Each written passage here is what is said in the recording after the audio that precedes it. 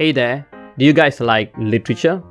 Well, if you do, let me introduce you to an esoteric programming language in which you need to write code as though it is a play of Shakespeare. Let me introduce you to the programming language Shakespeare.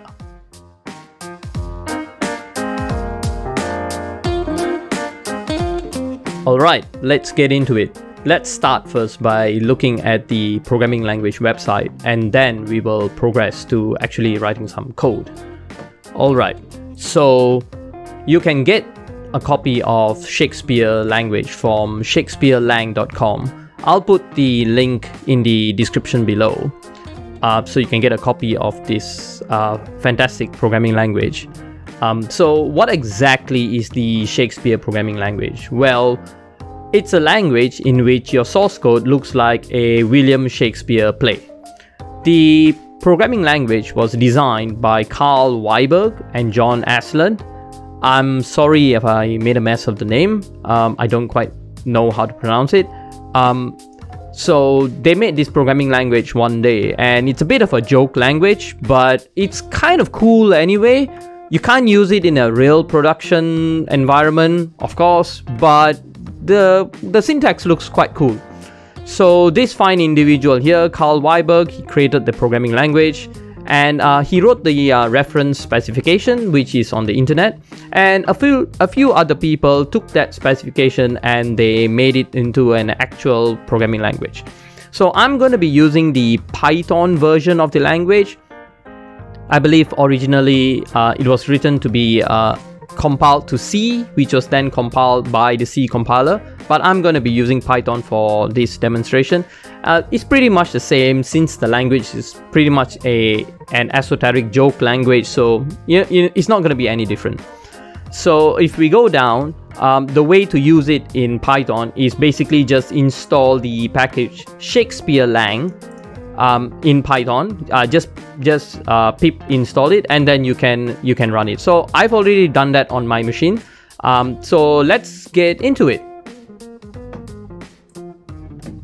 Okay, so what you can see on my screen at the moment is that I've Visual Studio Code open with a sample of a program that outputs hi.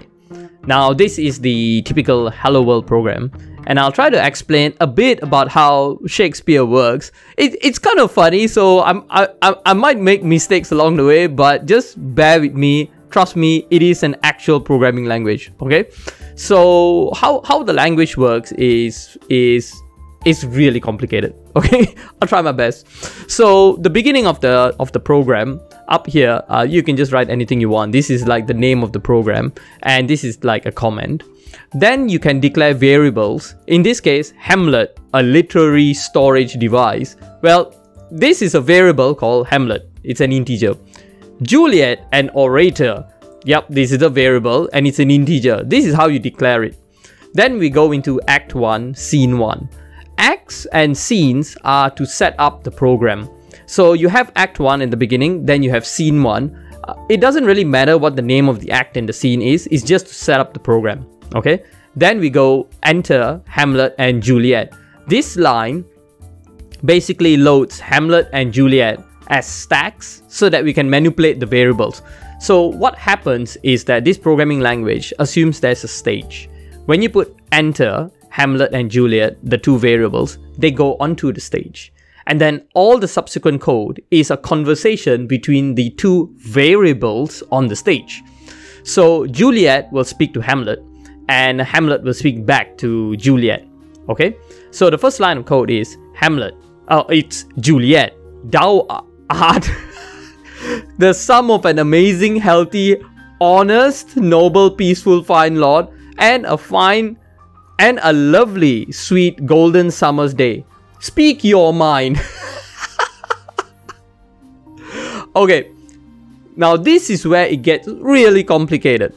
What happens is that Juliet is actually a variable which is a number. Okay, so it starts from, I believe it starts from 1. Then, as the words go into the interpreter, based on whether it's positive or negative based on the table, they either do plus 1 or minus 1. At the very end of this sentence over here, speak your mind, This means output that variable, okay, as an ASCII character.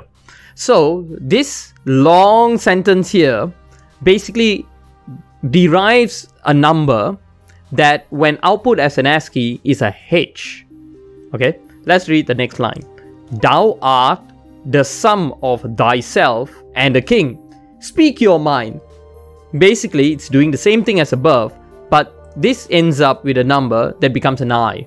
So let's run this program. And then you have x unt over here. This just means end. Okay, so let's run the program. So I've already put the um, the command in here. So basically I've installed Shakespeare um, via Python. So I've just done pip global Shakespeare. So Shakespeare run, and I'm gonna put in this program, hi SPL. It's gonna process, there we are, hi, HI. And that, in a nutshell, is how the basics of Shakespeare works. Okay, so that's how we got hi. So let's try a more, um, a longer sample, which is a full hello world. Okay, so the program is gonna be insanely long, but trust me, all it does is make hello world. So it starts with a preface on the top, which is the name of the program. It declares four variables, Romeo, Juliet, Ophelia, and Hamlet. And you have Act 1, Scene 1. Then uh, Hamlet and Romeo get onto the stage, okay? And this is where it goes totally bonkers. Hamlet, you lying, stupid, fatherless...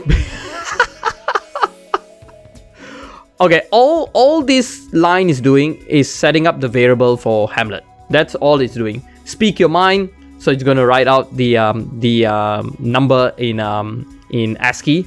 Same thing as this. Speak your mind. Same thing as this. Speak your mind. And then finally at the very end, it's just gonna say speak your mind. So H E L and because L is on the stack, it's gonna be L.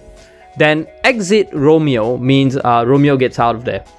Then in scene two, which is just setting up scene two, enter Juliet Hamlet is still on the stage. So Hamlet can speak. So he speaks, Thou art as sweet as the sum of the sum of Romeo and his horse. speak your mind.